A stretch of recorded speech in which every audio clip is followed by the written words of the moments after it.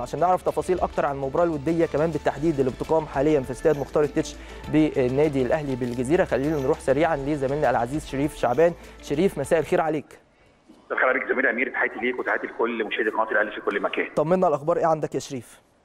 خليني أقول لك إن المباراة الودية اللي الاهلي بيستهل أول مبارياته الودية طبعا استعدادا للموسم الجديد آه مع فريق المتحدة. يمكن النادي الأهلي كان حريص أو أو في علم الكورة أما بتيجي تلعب أول مباراة ودية لازم يكون أمام فريق ضعيف علشان ما, ما يحصلكش إصابات ما يحصلكش آه إجهاد للاعيبتك ففعلا هم اختاروا آه فريق آه اسمه المتحدة. يمكن المباراة ستبدا بعد قليل يمكن بيديرها تحكيميا. الحكم طبعا الدولي محمد الحنفي حبيت أقول لك التشكيل النهارده النادي الأهلي بيبدأ في حراسة المرمى. آه مهم قوي ده. علي آه علي لطفي في حراسة المرمى أمامه أربعة. اثنين مساكين رامي ربيعة ومحمد عبد المنعم مواليد 99 على اليمين باسم علي وعلى الشمال علي معلول.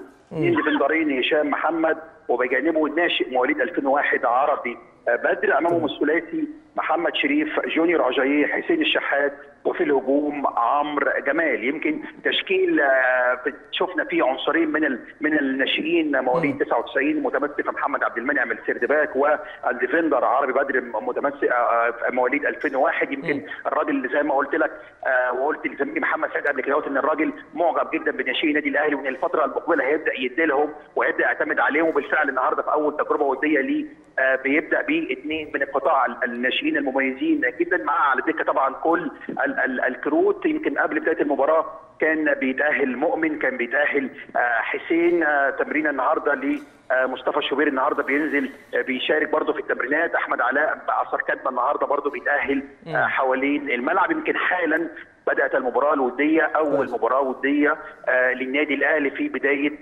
خطوه مشوار فترة الإعداد. زميلي أمير. طيب شريف الدكة بالنسبة للنادي الأهلي أكيد كل اللاعبين المتاحين إن هم يشاركوا في هذه المباراة متواجدين على الدكة وهيبقى في تغييرات كتير في الشوط الثاني بالتحديد صح؟